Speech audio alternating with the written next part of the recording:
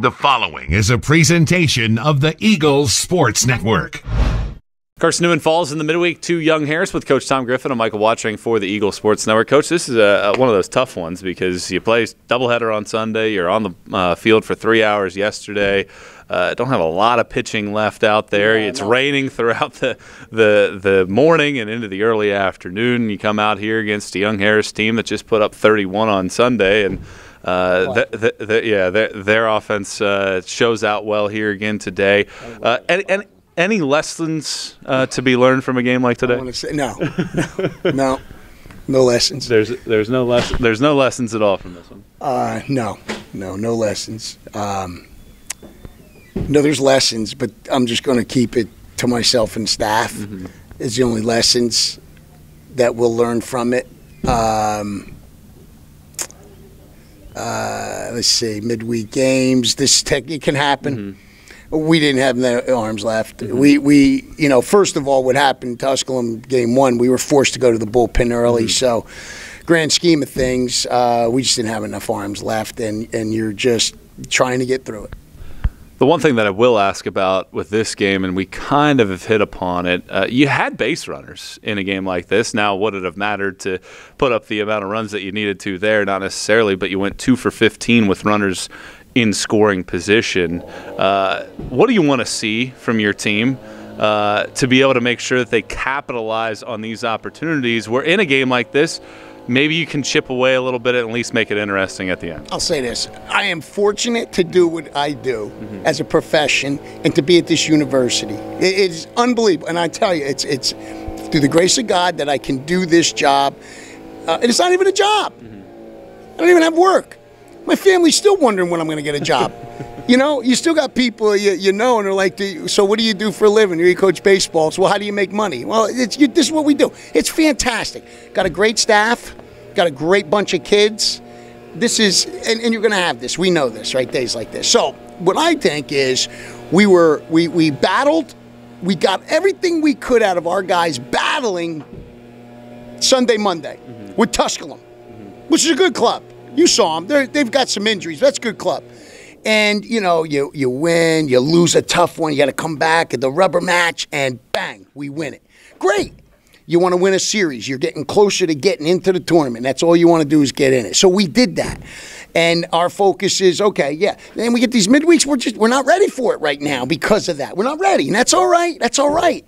We got some guys, some experience. We saw some things that were like, hey, that wasn't bad. Hardman did a heck of a job. Mm-hmm. You know, uh, Cade Berkey came in and flipping yeah. curveballs yeah. in there. Phenomenal job, and you know, so that's good and I had some guys that hit well. The runner scoring position, yes. You know, it's kind of like Jim Boeheim when they talk to him, Syracuse coach, you know, basketball. I've heard of him. Yeah. Well, they used to be awful in free throw shooting right? Awful. And they, they, constantly ask. It's like, listen, we can't talk about it anymore because the kids even know they're not good at free mm-hmm. throws. So it's like you don't even bring it up.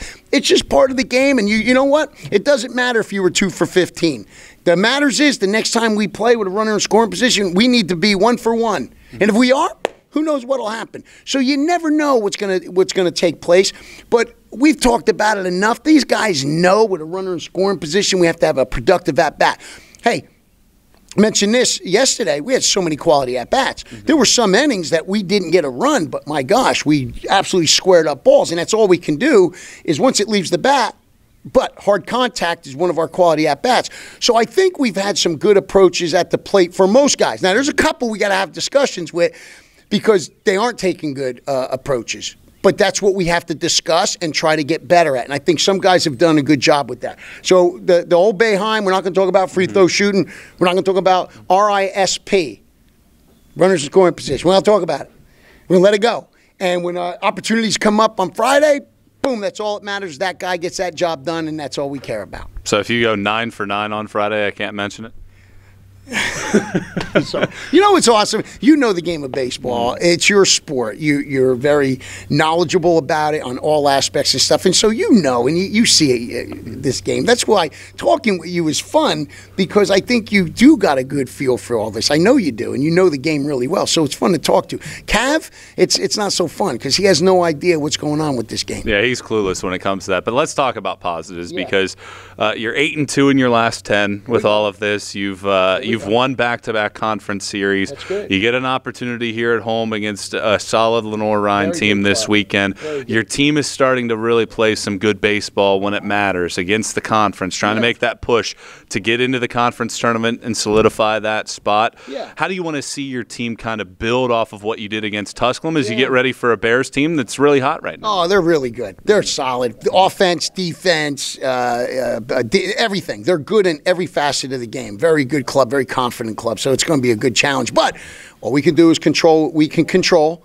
We want to be the best version of ourselves. We want to make sure that we have good awareness and readiness each pitch. Worry about the pitch coming, not the one that's happened or the one that's ahead of us. Um, all the things we talk about and the way we train, that's all we're going to think about. We'll have two good training days, get the bodies, try to recover from the last three days, let the bodies recover. So, proper sleep, proper nutrition, make sure we're handling our business off the field, try to find ways to serve others, try to find wins throughout the day. Um, you know, and that's that's what we're going to do, and then get ready for the game. And I think these guys are trained and prepared to compete, and that's all we ask them to do is compete on every pitch. Coach, appreciate the time. We'll talk to you on Friday against the Bears. Thanks for all you do. He's Coach Tom Griffin. I'm Michael Watching for the Eagle Sports Network.